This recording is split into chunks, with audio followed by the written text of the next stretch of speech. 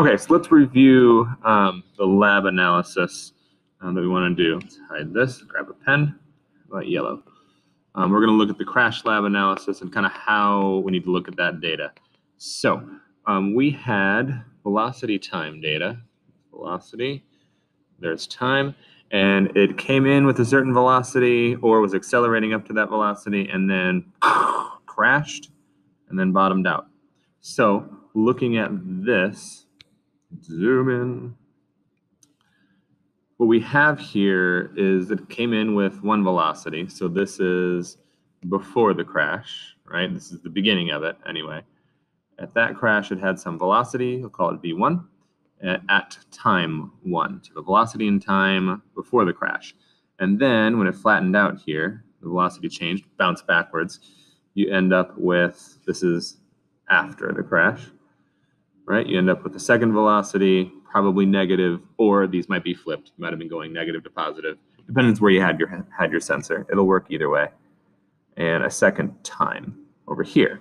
And all of this is the crash happening, right? Because it takes time. It lasts for a certain duration.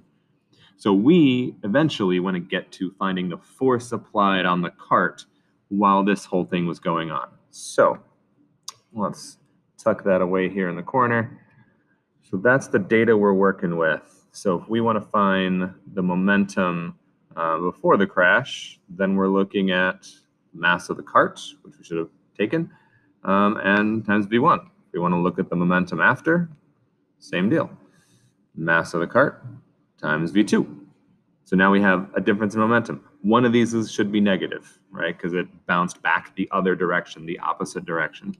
So if we want to find the change in momentum, well, we just to look at momentum after and subtract the momentum before, right? And if we always do final minus initial or afterwards minus before, um, any positive or negatives will take care of itself. So um, be careful of those.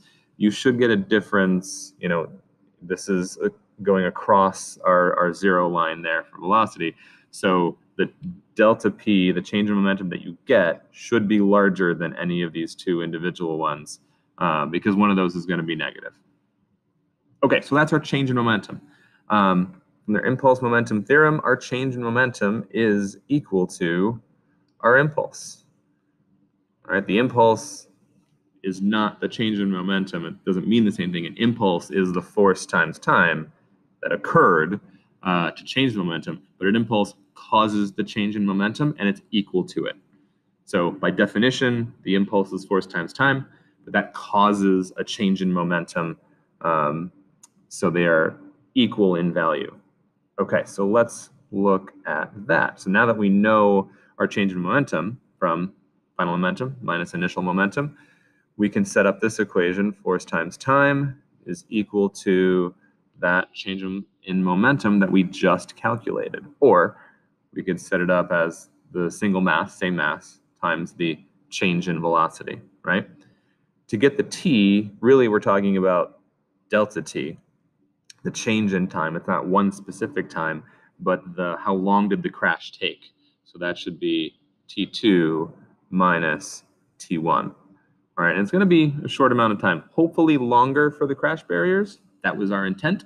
Um, whatever data you came with, we'll analyze it. If it didn't work as great as you thought, so be it. That's fine. More importantly, I want you to know how to work with these calculations and, and do what we're doing here. So m delta v.